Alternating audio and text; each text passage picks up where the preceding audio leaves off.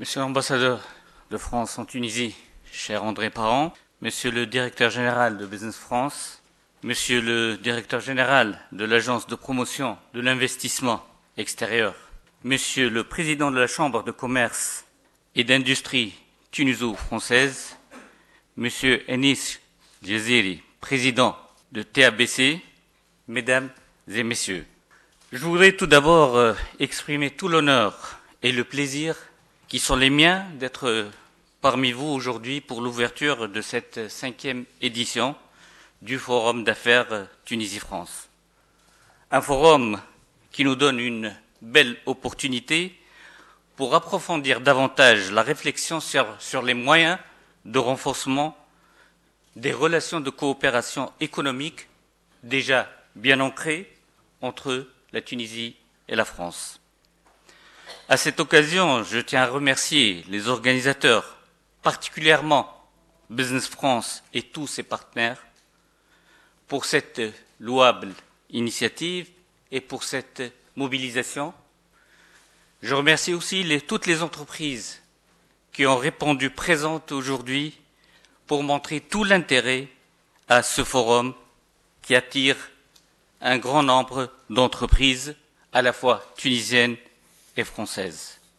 Mesdames, Messieurs, il n'est un secret pour personne que la Tunisie et la France entretiennent les meilleures relations, qu'ils ont des liens étroits dont les racines se trouvent dans l'histoire, dans la géographie et dans la proximité culturelle. Il va sans dire que les relations tuniso-françaises ont été toujours imprégnées du sceau de l'amitié et de la coopération. Elles sont empreintes de rapports politiques privilégiés et d'un partenariat économique dense et diversifié.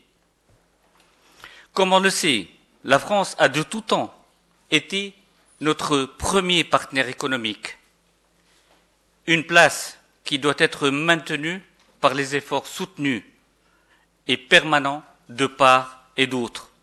Mais il faudrait aussi rappeler que la Tunisie est le site maghrébin qui attire le plus grand nombre d'entreprises françaises et qui dépasse les 1500 entreprises établies sur le sol tunisien. Un détail de taille qu'on a tendance parfois à oublier. Ce partenariat représente un moteur essentiel pour la croissance économique et le développement partagé entre nos deux pays. L'événement d'aujourd'hui s'inscrit dans cette lignée visant à garder ce leadership régional économique et l'appuyer dans une plus grande expansion. La Tunisie aspire à une coopération dense et approfondie avec son partenaire privilégié, une coopération qui doit être au diapason avec les défis auxquels nous sommes confrontés aujourd'hui.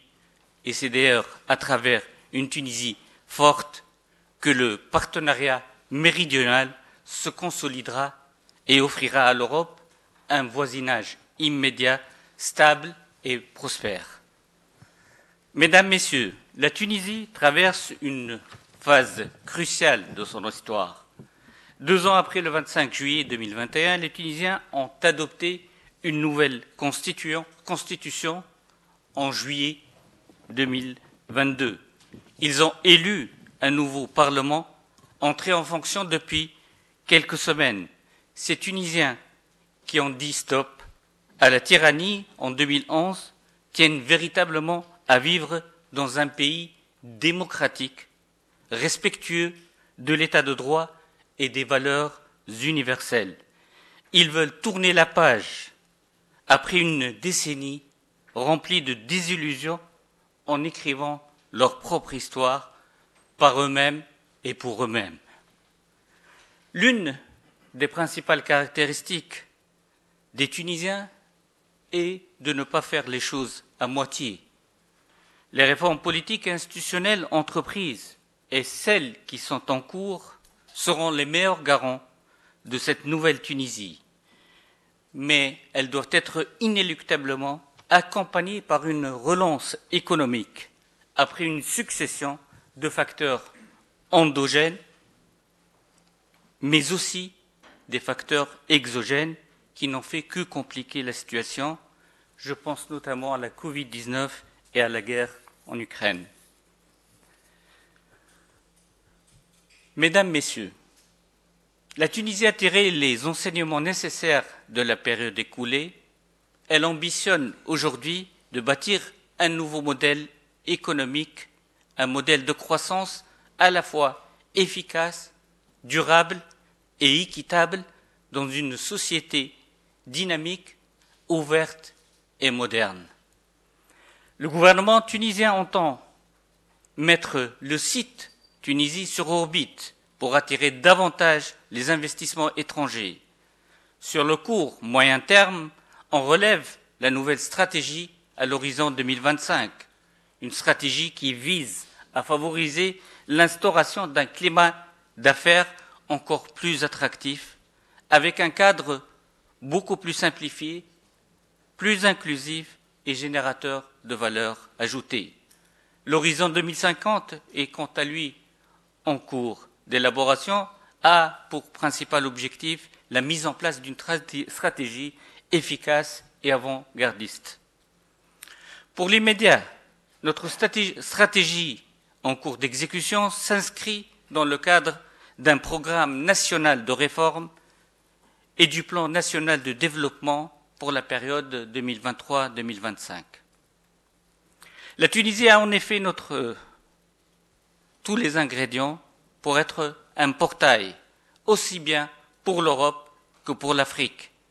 Et ce n'est pas un hasard si plus de 3700 entreprises étrangères ont choisi la Tunisie pour s'y installer. Ce choix a permis à ce site d'occuper les premiers rangs sur la rive sud de la Méditerranée en termes d'implémentation d'entreprises étrangères. Partant de ces faits, de ces faits incontestables, on est en droit d'affirmer que la Tunisie ne peut laisser l'entrepreneuriat insensible. Ces nombreux atouts que déjà mon ami André a bien voulu citer ne sont plus à démontrer. Je citerai peut-être quelques, quelques-uns. La Tunisie reste avant tout un pays ouvert et moderne, un pays situé au carrefour de l'Europe et en Afrique. Cette proximité avec l'Europe fait de lui une passerelle naturelle entre le commerce et l'investissement. La Tunisie favorise les échanges avec les marchés européens et facilite l'accès aux chaînes d'approvisionnement Méditerranée, en Afrique et Moyen-Orient. La Tunisie également dispose d'un important vivier de talents et de compétences avec une main-d'œuvre qualifiée et dotée d'un fort niveau d'expertise et de qualification dans les secteurs stratégiques tels que l'ingénierie, les technologies de l'information et les services. Le coût, le coût de la main-d'œuvre en Tunisie est parmi les plus compétitifs par rapport aux autres pays même de la région, ce qui attire les investisseurs à la recherche d'une production à moindre coût. La Tunisie a également investi dans le développement des infrastructures, notamment les ports, les aéroports, les autoroutes, les parcs industriels. Les infrastructures modernes facilitent les échanges commerciaux et renforcent la compétitivité du pays. Des zones franches et des incitations fiscales ont été également mises en place pour encourager davantage l'investissement dans des secteurs spécifiques. Mesdames et Messieurs, pour conclure, j'aimerais m'adresser aux entreprises ici présentes pour leur dire que le marché tunisien, le site Tunisie, vous offre, vous offre toutes les garanties de réussite. Aucune entreprise française n'a quitté la Tunisie pour une autre destination malgré les événements que nous avons vécus depuis 2011 jusqu'au jour d'aujourd'hui. Nos équipes sont mobilisées et attentives à vos demandes et attentes. Elles sauront vous accompagner dans votre implémentation sur le sol tunisien. Toute demande d'information ou d'exploration sera satisfaite pour vous donner tous les détails dont vous aurez besoin. Merci et plein succès à vos travaux.